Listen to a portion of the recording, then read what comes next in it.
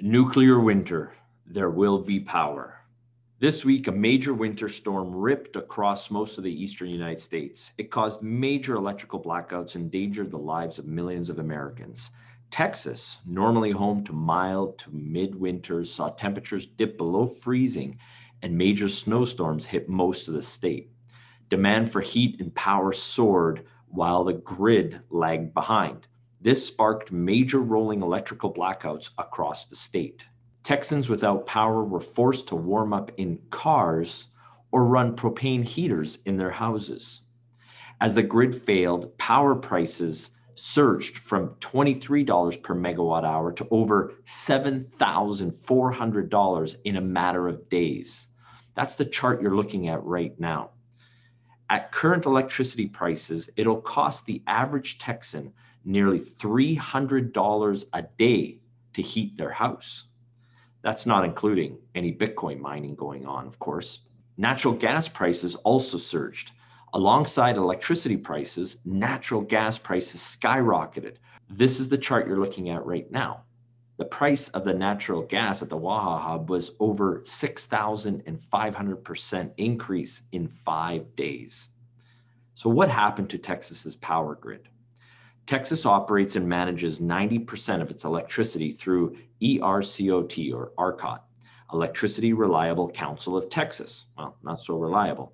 Wind power is responsible for about 23% of Texas's electricity generation. Under normal conditions, this makes for cheap, intermittent electricity for Texas. However, right now, roughly half the turbines are actually frozen, which means they cannot generate electricity.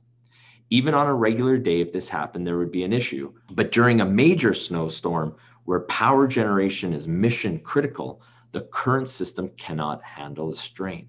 It's times like these which provide a gut check to our ever increasingly euphoric world of 100% renewable energy and zero carbon policies. It's a kink in the design that will need a solution engineered in the next generation turbine designs. And it'll happen but it's going to take time. Don't get me wrong. I support President Biden's mission to decarbonize and re electrify America.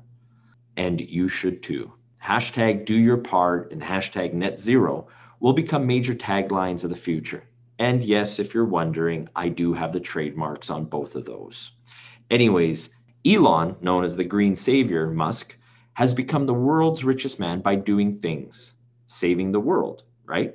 Whether you believe in climate issues or not, the fact is the science is showing that it is an issue. Recall, I just mentioned Green Savior became uber rich from being part of the solution. You too can make a fortune by hashtag do your part. And you don't even need to become a disciple of the Green Jesus and the Green Savior movement and convert the unholy, I mean the ungreen. A coming crisis, a major profit opportunity. In my 20 years, I've had a pretty good career to this point. I have never seen an investment opportunity as incredible and profitable as solving the climate issue. Many will have great intentions, but like all investments, meaning well won't be enough. You need the right variables, like a legitimate business plan, a management team that know what they're doing and have skin in the game, and a company that has cash and the know how to disrupt the world in a positive way. Love them or hate them, the government is the best financial backer you can ask for. And again, the green savior, Elon Musk, used this to his advantage on his way to become the world's richest man. I do not mean the green savior as a negative connotation. I mean it with the utmost respect. And I'm not comparing Elon Musk to Jesus. What I'm doing is highlighting what Elon has done for the climate movement. By making electric vehicles and green energy cool, Elon put an electric shock into the climate movement. So many before him tried and failed. But Elon has captured the imagination of all generations, young and old, and being the world's richest man helps the movement. Pay attention to net zero. In President Biden's quest for net zero, he focuses on wind and solar being the dominant forms of electricity production.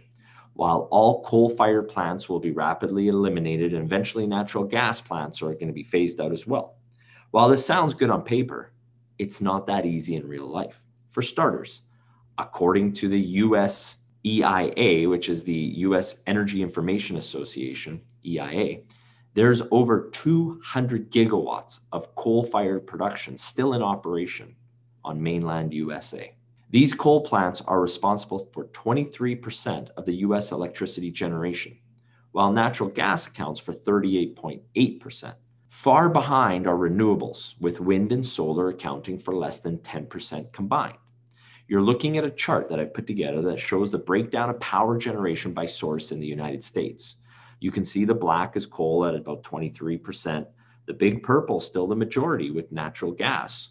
Nuclear, the orange, just under 20% of baseload power. The green wind at 7% and change. Hydro at 7%. Solar only 1.7 and the others combined make up about 2.4. It's not that simple to just switch power sources.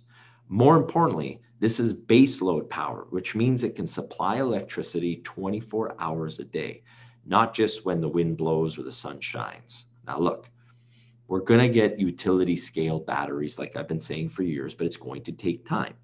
And the problem is, you can't charge your Tesla or pay for something in Bitcoin when the power is out.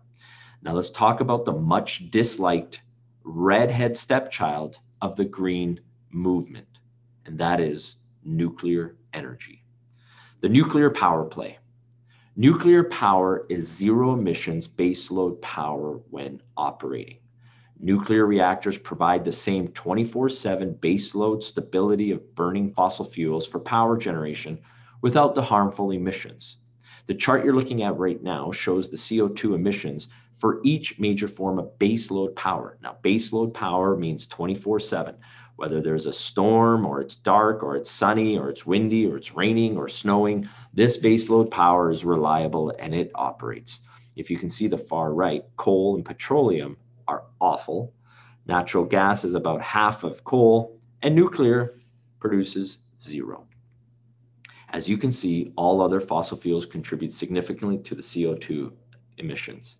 Making no mistake, solving the world's electricity generation issue is a multi trillion dollar opportunity. So let's get to what matters to you making money. So, why are uranium stocks popping?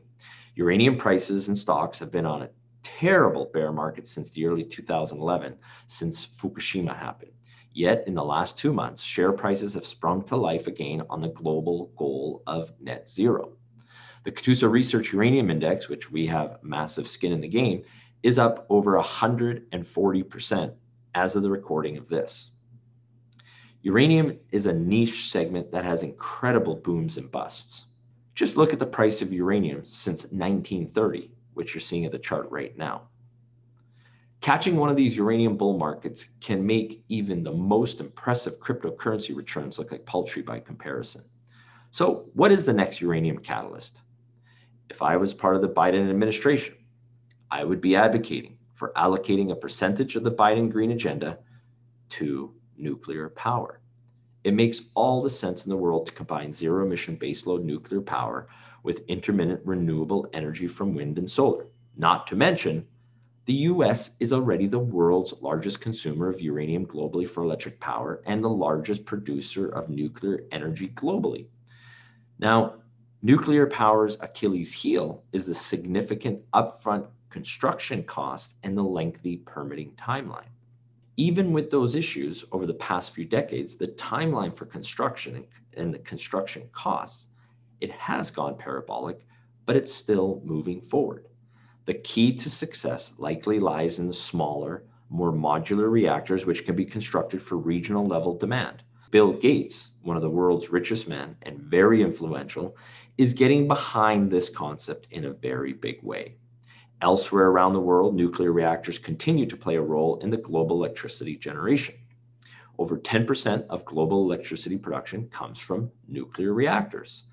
Today, right now, there are 50 reactors globally under construction. That's not planned or proposed, that's under construction, which will take the operable reactors to nearly 500 worldwide and increase nuclear power generation by 13%. I have been investing in the uranium sector for 20 years and have traveled to all the major operations around the world. The KRO, the Katusa Resource Opportunities Portfolio, is always going to where the puck will be. And our track record has proven that. One of our uranium picks is up 165%, the other one's up 400%. Look, it's up to you what you want to do with your portfolio, but I do recommend you click this link and find out more on how you can be part of the next opportunity. Stay safe.